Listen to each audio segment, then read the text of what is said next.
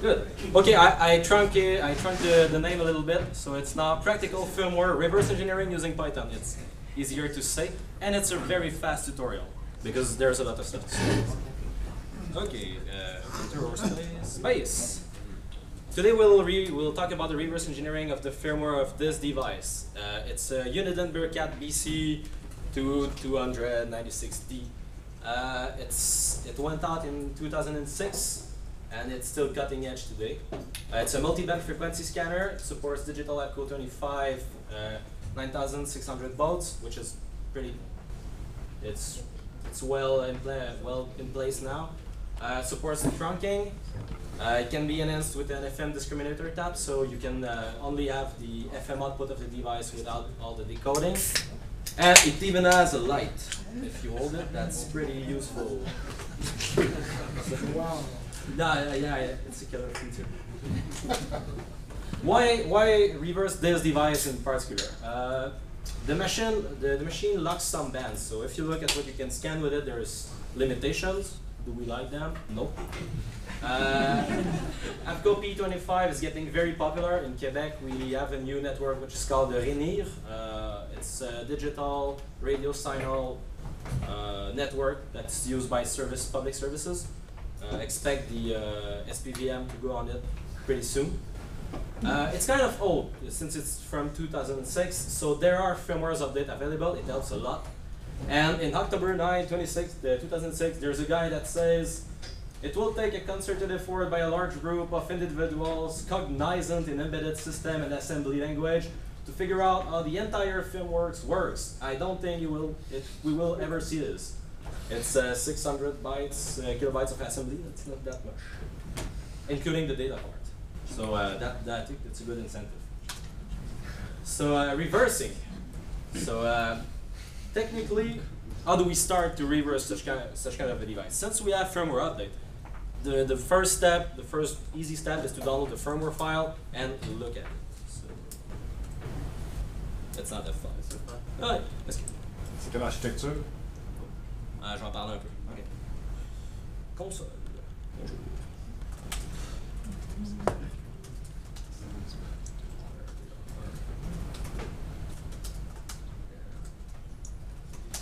So this is what you get when you open the uh, firmware file. Well, it's pretty interesting.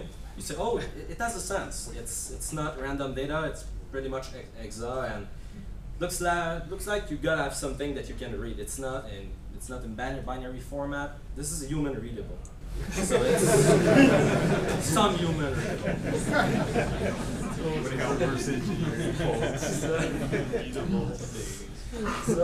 we make some kind of, I, I, did some kind of Googling and I figure out that this uh, Motorola S3 cores. It's, uh, yeah, it's used to burn EEPROMs. It's a format developed by Motorola in the 68K time. Uh, it's validated by a checksum, so each S3 core sh should have a valid checksum, and it should be human readable for the ASCII part. So if you take the bytes in there, turn them to ASCII, you should see text. As simple as that. So if you if you boot up the machine, it says Uniden Bearcat. So we should be able to see this if we turn that to to text simply. Uh, so I developed a little library which is called PySREC. Uh, it's a general purpose S3 core library plus a tool to use it. Uh, it parses the file, it validates the checksum, and you can perform some forensics in that, adding offsets, moving data, extracting, calculating, and validating checksums. And it's GPL, it's on, it's on GitHub, and let's ask what it looks like.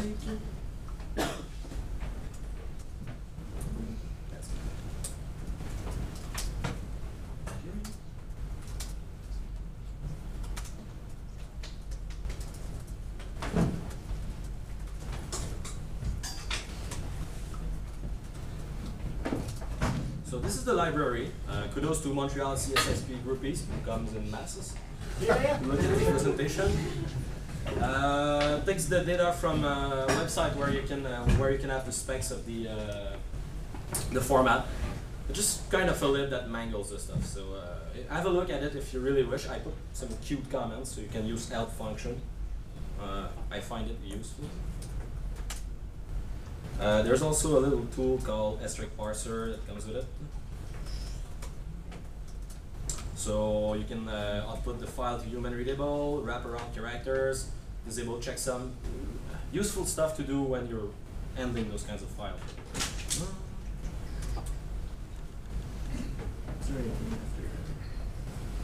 Okay, uh, back to our, uh, you can see back to our strike file. It's not my laptop, so do it, add up, consolidate. So technically, as they say, it should be human readable. So let's do let's do a little test. Let's take our file bcd. Uh, let's say I want to have line count, uh, data only because there is address, types, and checksum. I just want to see the data, and uh, human readable. And let's go. In the file, fail. so we, it's kind of exciting. Okay, so as we see, it's clearly human readable. Uh, def uh, defining on the format I, I used, we should be able to search for something like u.n.e.n uniden. Oh no, it's not. You cannot find it. So it's it's weird because it's not readable as it should be. So the first, I think the first thing you need to try is to validate the checksum. So because all the lines should be validated by the last byte. So let's try if it works. Oh, it was already on. So uh, yeah, they're bad.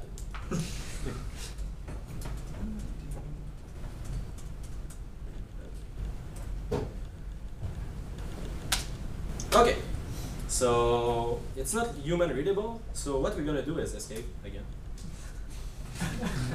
and we're gonna add a little offset to all the bytes just for fun.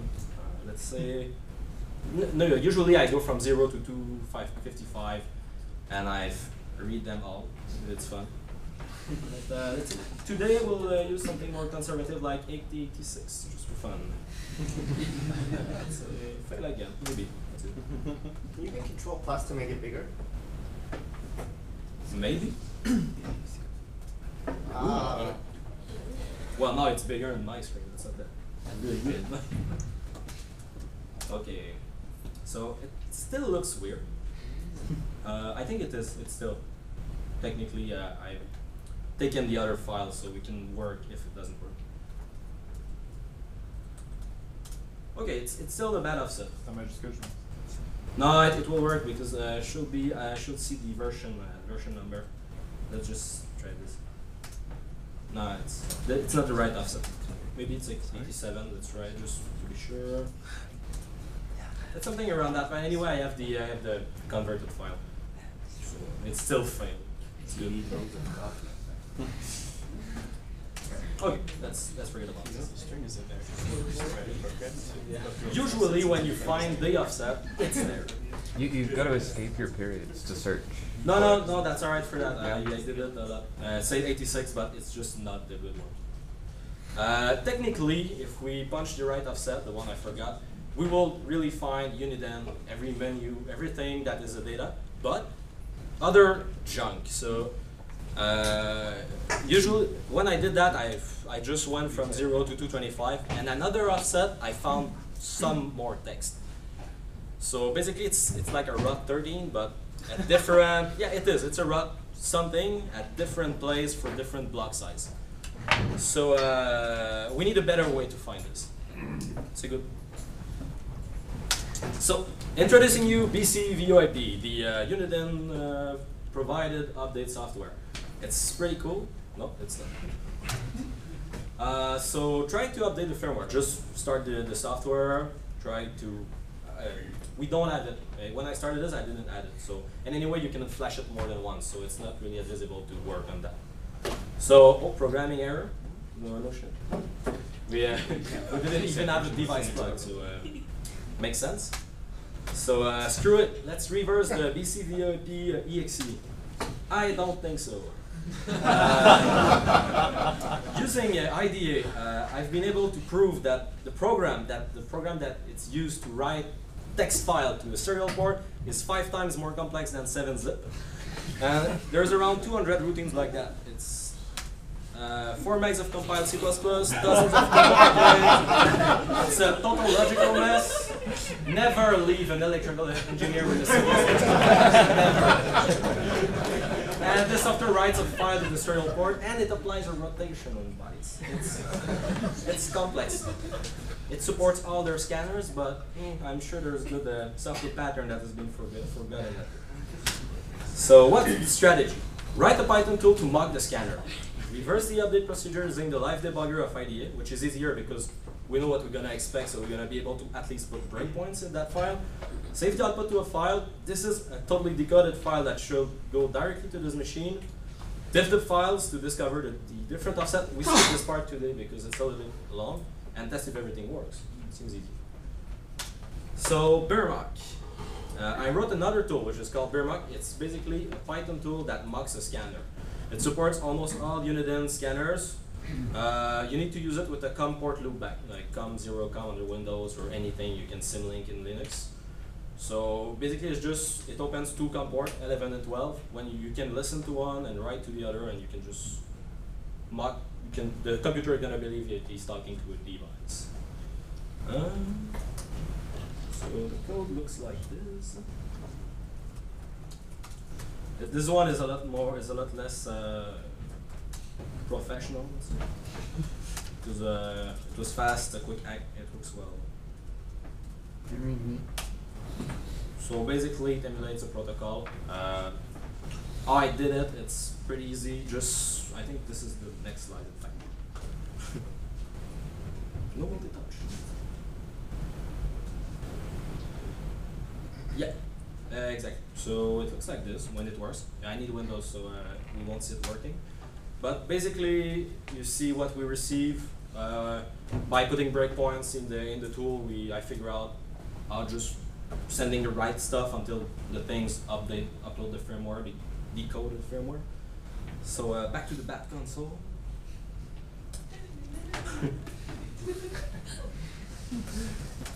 Thank you for the soundtrack. okay, so now it just ran, and it gives us a file which is decoded.x 19. So this is what, how it looks like when it's decoded. This looks a lot better, isn't it? And all sorts of S's. It's this, basically the, the S, the S stuff is the same, the address are the same, but the checksum changed, so the data changed also, and the checksum is still valid. If we test it, just say, oh, You added a Q there, that's not a problem. Line. That's right. So you see, it, it's it doesn't crash. So the the checksums are va- are valid. So we're sure that the software applies some kind of transformation and put back a new checksum. So it's just there to fool you. Uh, so now let's let's have a look at it, human readable. Or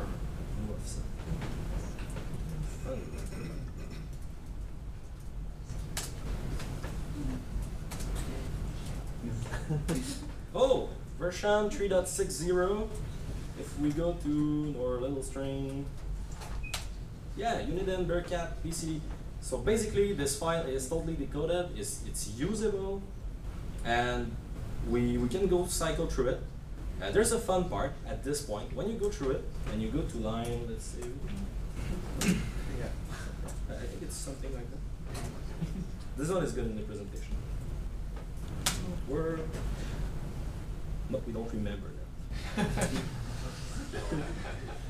you know, offsets, it's get lost. Wait, step. Eight five ah, one ah, eight. Ah. Oh. Hello. Okay, that's fine. You have this little string M16C62P. What is this?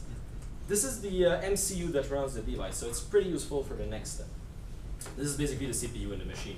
So what we're looking at it is the it's the part of the code that handles the firmware upload. So you don't mess with that part.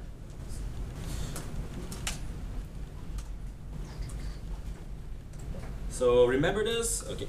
This is uh, MCU by Renesas. The, the cool thing is that they offer, they gladly offer an emulator and a workbench for it, and it supports S-record file. This is a cute screenshot of the about screen, if you doubt. Uh, it runs. If you load the, the S-record file through their workbench, the proof is that it works. I can have it running so we can get it through. There's a sad part. IDE doesn't support this MCU, so I need someone to, to who is willing to add this support in IDE. Uh, I need to release the tool because I have a tool in the work that will take a decoded file, makes an encoded file, so you can break your scanner like a pro. and and now we're actually at Mod firmware and Computer Ponyland. So that's it. Hope you liked it. Questions?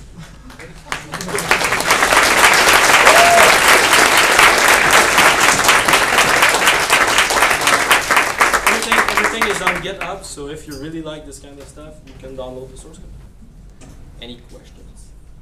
No, that's good. Thank you. Thank you, guys.